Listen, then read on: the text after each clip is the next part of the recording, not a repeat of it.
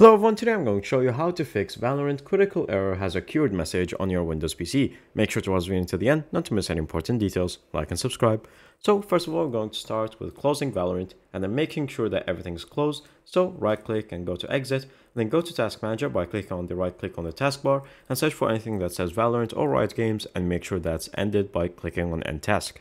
Then you're going to search for msconfig and then go to services, then search for VGC by clicking on V and then make sure that it's unchecked and then click on OK and it's going to ask you to restart the computer. So for now you can skip that and then go to devices and go to device manager and then going to go to your display adapters, right click and then go to update driver and then browse my computer for drivers. Let me pick from the list and then click on whatever that you have and then click on next and let it install the new drivers. Then from here, you're going to search for Windows setting and then go to update.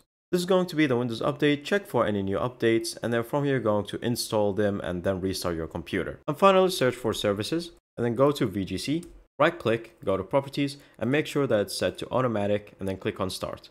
And that's pretty much it. Thank you guys for watching, see you next time, bye bye.